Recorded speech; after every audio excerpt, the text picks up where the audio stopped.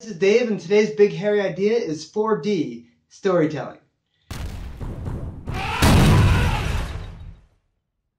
So, as an author, I'm constantly trying to figure out how I can make my stories feel real to my readers. And the more you put details into the into the stories, the more you put in sounds and tastes and sights, the more the reader feels that they can be present in the story itself. But still, they're just reading words on a page.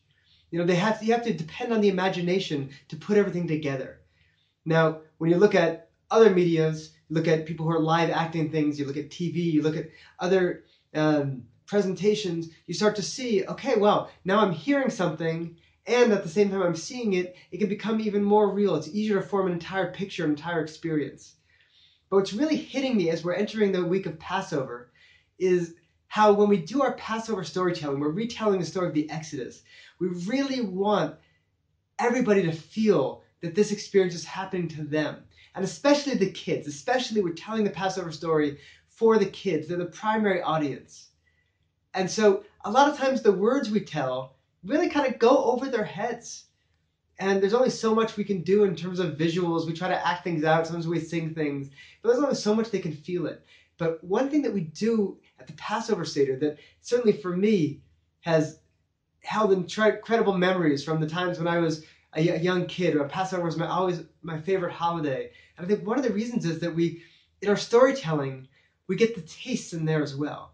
We're not only telling a story, we're actually eating the foods. We're telling the story through the foods. This food represents this, and this food represents this. And so, as little kids, we might not follow all the words or all the details of the complex story. And the story is complex because we're, we're jumping around. We're talking about Abraham. We're talking about Lavan. We don't even mention Moses. How can you talk about the Passover story and you think it's a story about Moses? It's an easy story for kids to follow. It's kind of like Prince of Egypt, but it's not Prince of Egypt. The Moses isn't even appearing. We're telling all these complex concepts. We're telling about these rabbis in Bnei Brak. We're all over the place in telling the story, and it's hard to follow. But when you're able to eat the foods and really feel the taste, you literally get the story in your bones. You get it in your body. And that permeates in a way that words do not. And so I think it's an incredible thing that we put so much emphasis on the way we tell this story in Passover. And that we really take it 4D. We try to take it into the very bodies of the listeners. And so these tastes are always associated with the story.